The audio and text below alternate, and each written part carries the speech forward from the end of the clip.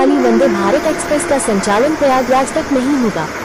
इसका संचालन गोरखपुर से लखनऊ के बीच ही होगा। रेलवे बोर्ड के अफसरों के अनुसार पहले वंदे भारत प्रयागराज तक चलाए जाने की योजना थी, लेकिन अब यह लखनऊ तक ही चलेगी। इन वजहों से प्रयागराज तक नहीं हुआ गोरखपुर वंदे भारत का संचालन। गोरखपुर वंदे भारत एक्सप्रेस का प्रयागराज तक संचालन न होने के पीछे तमाम वजह भी सामने आई हैं।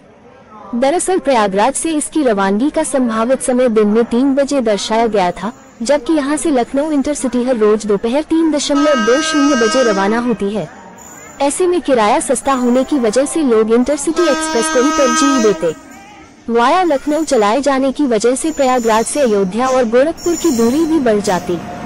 वंदे भारत प्रयागराज से गोरखपुर पहुँचने में सवा सात घंटे का वक्त लेती, जबकि प्रयागराज रामबाग से वाया वाराणसी चलने वाली बापूधाम महज छह दशमलव तीन शून्य घंटे में ही यह दूरी तय कर लेती है। ऐसे में जब यात्री कम किराया देकर कम समय में गोरखपुर पहुँच जा रहे हैं तो वह वंदे भारत